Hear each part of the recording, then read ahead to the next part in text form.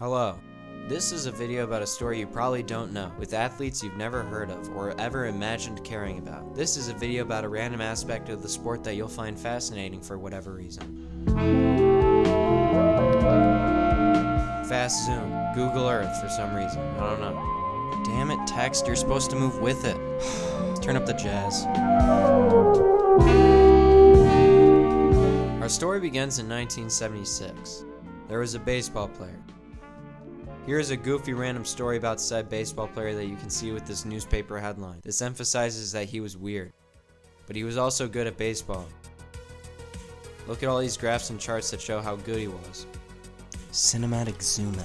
But those aren't even the most eye-popping stats. Check out these stats. And these stats. He was so good at the game of baseball that the amount of times he did rare things was 94 times.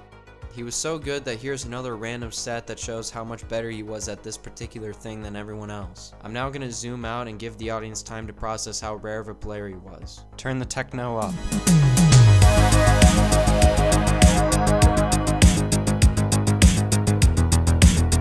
Might want to see what set player looked like while playing, or just any footage of a baseball game in general. But I won't show you any footage of an actual game, instead I'll just show you some pictures and more newspaper headlines. Now why don't we remember this great player? Well because his team sucked. Now that we've reached the end, here's my speech about how strange, weird, unlucky, and interesting sports are. Now that's pretty good.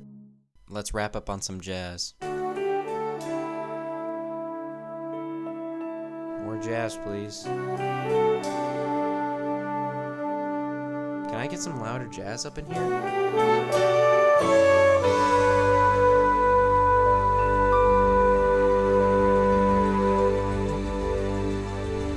Guys, seriously, I need some louder jazz.